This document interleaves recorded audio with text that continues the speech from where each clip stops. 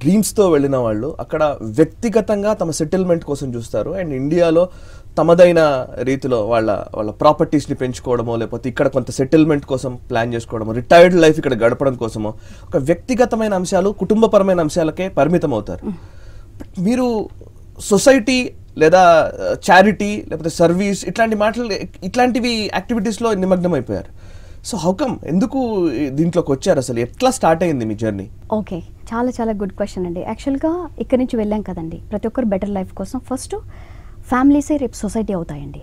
డెఫినెట్గా ఫస్ట్ మనం ఇల్లు చొక్క పెట్టుకోవాలి. Hmm. ఇంట గెలిచి రచ్చ గెలవాలంటారు. Hmm. సో ఫస్ట్ ప్రతి ఒక్కరు చేసేది తప్పు కాదు. అలా ఉండాలి. కానీ అక్కడ లిమిట్ ఉండాలి. మనం ఏ ఎక్కడ ఆగాలి అనేది. Hmm. ఇప్పుడు ఫర్ ఎగ్జాంపుల్ నేను నా పర్సనల్ విషయం నా గురించి నేను చెప్తాను. Hmm. మీరు అడిగిన ప్రశ్నకు. ఏంటంటే ఇప్పుడు నేను నా ఫ్యామిలీ ఫర్ ఎగ్జాంపుల్ ఇటు పేరెంట్స్ ఫ్యామిలీ కావచ్చు ఇన్లాస్ ఫ్యామిలీ కావచ్చు all together ten to fifteen members వేసుకోండి. అంటే నా ఎయిట్ ఇయర్స్ భగవంతుడు ఆయుష్ ఇస్తే- గనక. సో నాకు ఎయిట్ ఇయర్స్ ఉందనుకుందాం. అంటే నా నా కెపాసిటీ నాకు ఈ ఫిఫ్టీన్ మెంబర్స్కి సాటిస్ఫై చేయడం ఒకటేనా? Hmm. నేను బియాండ్ ఎబిలిటీస్ నేను ఎంతమందికైనా ఉండగలనా? Hmm. అని ఆలోచించాను. ఓకే ఆ క్వశ్చన్కి ఇంకొకటి రోజు సరే పుట్టాం. Hmm. ఏదో ఒక రోజు లైఫ్ ఎగ్జిట్ గ్యారంటీ. రోజుకు ఒక్కసారి తలుచుకుంటానండి. గ్యారంటీ. సో ఈ గ్యారంటీ అనే విషయం అనేది మనం రోజుకు ఒక్కసారి తలుచుకుంటూ ఉన్నాను కాబట్టి.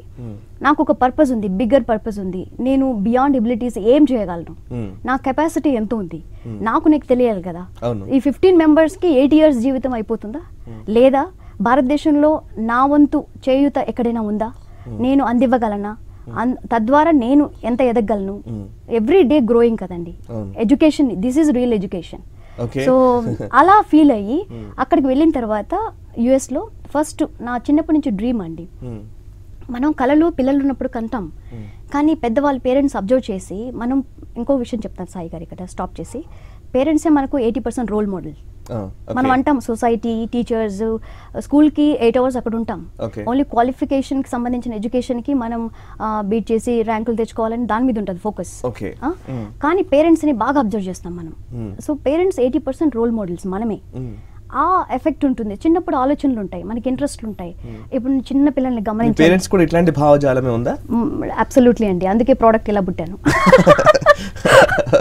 సో అందుకే మా పేరెంట్స్ బ్లెస్సింగ్స్ చిన్నప్పటి నుంచి ఇలా అంటుంటారు అనమాట మా ఫాదర్ ఇప్పటికీ అంటుంటారు. సో మా బిడ్డ కాదమ్మా దేవుడి బిడ్డ మీరని. Hmm. సో అది చాలు కదా.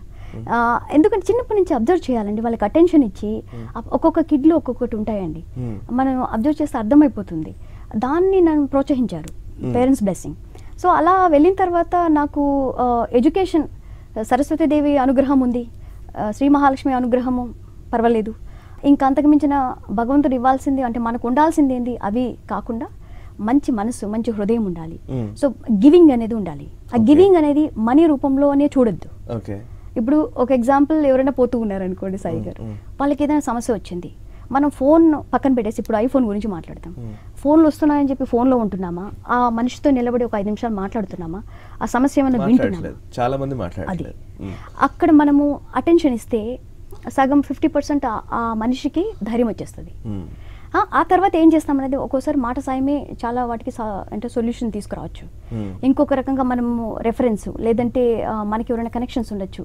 అందరికీ అన్ని కనెక్షన్స్ ఉండవు కదండి. ఇండియాలో కనెక్షన్స్ బాగానే పనిచేస్తాయి మీకు తెలుసు కదా